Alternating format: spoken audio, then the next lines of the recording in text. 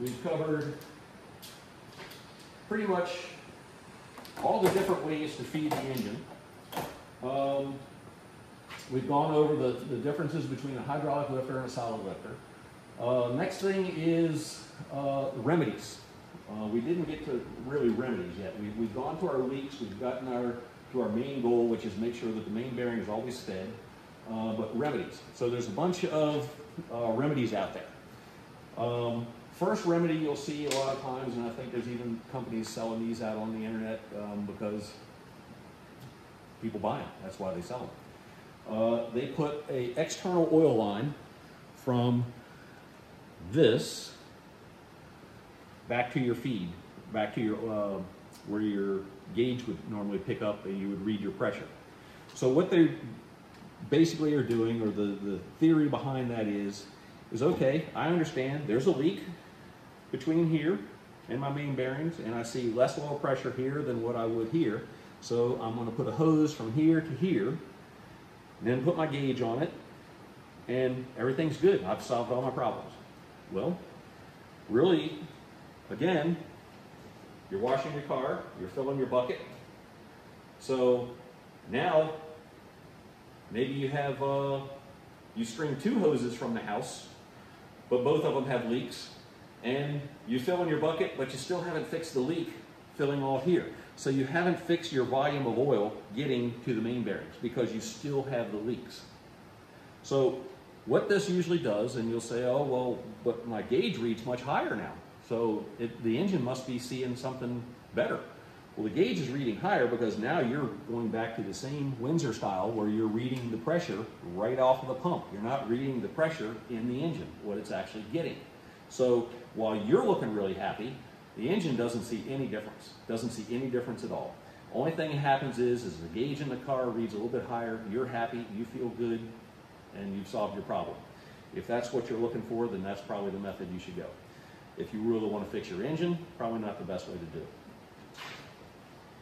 The next one that we see is oil restricted push rods.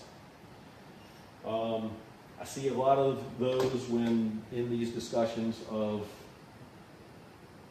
everything going on for how to fix your oil system. Again, let's go back to what is the main cutoff between the oil pump and what you're doing up here for your pressure reading. So when this lifter is in the engine,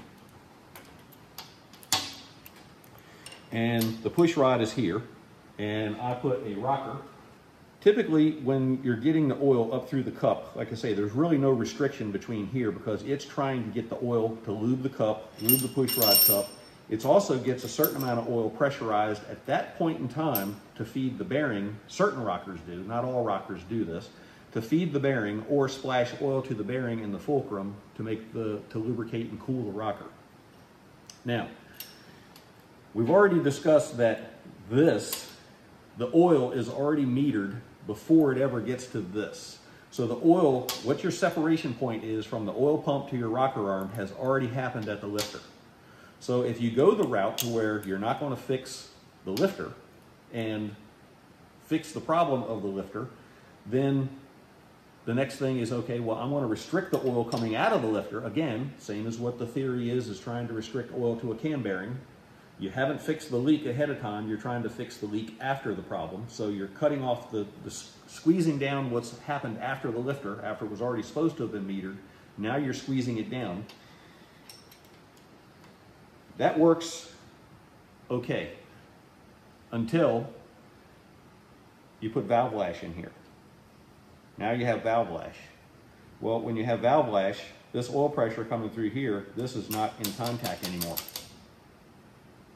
So with that, now you have an open leak between the two because it's not in contact anymore. So how is that doing any, how is this push rod restricting any oil up to the top end when it has valve, when it has lash? Now in a hydraulic system, already has lash. Doesn't have lash, I should say.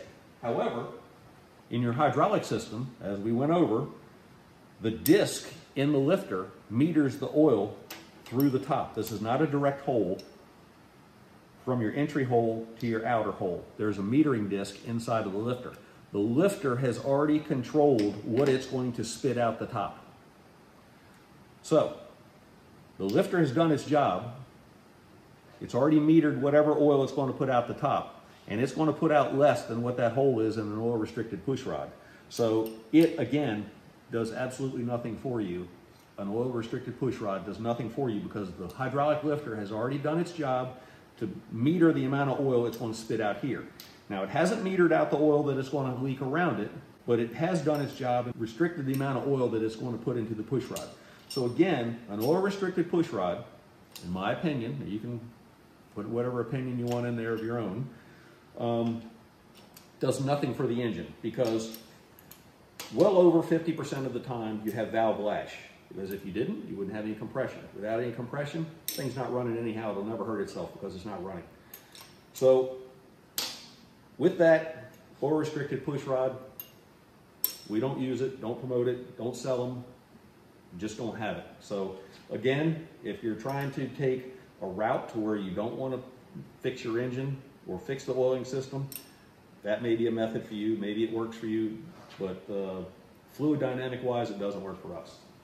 So with that, those are the main uh, scenarios I see of how to fix the, the Cleveland oiling system in an engine.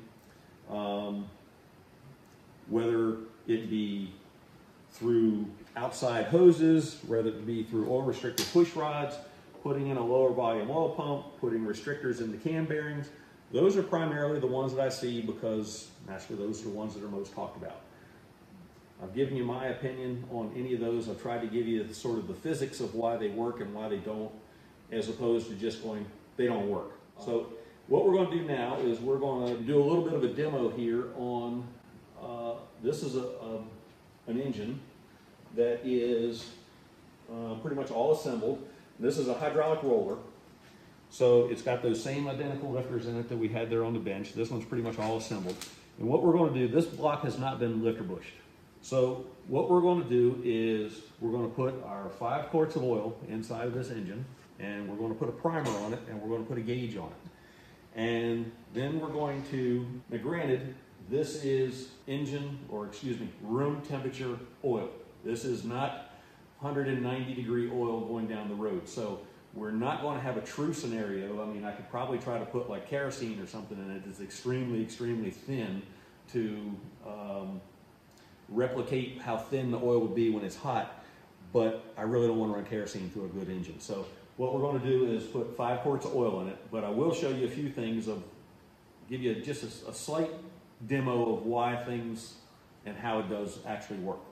We're going to go ahead and pour the oil in the engine, um, get set up with our pressure gauge and uh, get our drill ready to prime this engine.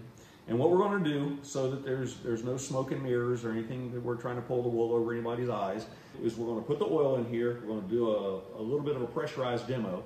And then we're really going to take and drain the oil out of this engine, take the filter off of this engine, and put it on this engine so that there's no saying, well, we put a different oil or anything like that in there. We're going to use the same oil in this engine, the same filter, so we're going to use the same style restrictions in this engine that we are in this one. The only thing different is this one actually has the push rods and everything on it, and they are um, already set to lash. One is hydraulic, this one is solid, and we're going to run this one without even any push rod restriction in it at all.